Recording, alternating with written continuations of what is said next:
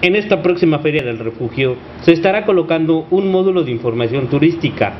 Fue lo que nos diera a conocer la directora de turismo Griselda Bernal Rodríguez.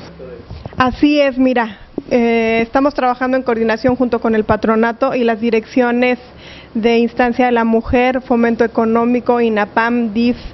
Seguridad Pública, Bomberos. Entonces todos ellos eh, con el afán, uno de exponer y venta y otro de dar información a la gente eh, en cuestión de turismo es eh, dar difusión, eh, tendremos ahí unas proyecciones de, imágenes, dar a conocer ciertas cosas del refugio, proyectos, eventos que se han hecho y pues bueno, dar difusión toda la información necesaria ahí en estos módulos de,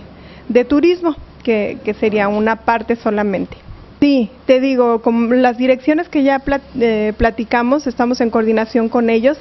se les está dando el espacio totalmente gratuito, entonces son 16 espacios que amablemente y atinadamente el patronato de la feria eh, también está ofreciendo para precisamente ofrecer el apoyo, dar difusión y venta de estos productos artesanales. Sí, mira, son tanto locales,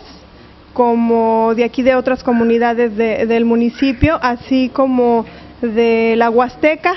eh, de parte también algunos de Río Verde que se acercaron, entonces está de Aquismón, Matlapa, entonces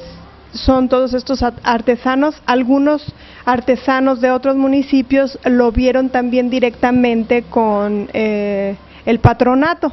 Entonces estaban por confirmar, creo que de Santa María del Río, pero te digo, la, información más concreta también la tendría el patronato, porque esto es por parte del municipio, el, el apoyo que se les está dando.